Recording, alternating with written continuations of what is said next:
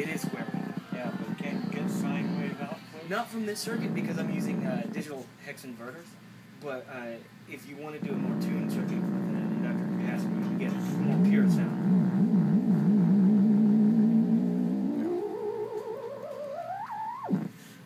pure sound.